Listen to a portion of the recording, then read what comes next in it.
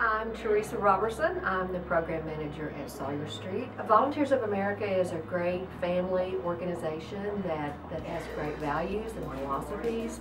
Uh, you make a difference in the lives of people and you also are, are very supported by uh, co-staff and co-workers. Come join the team at Volunteers of America. You won't regret it.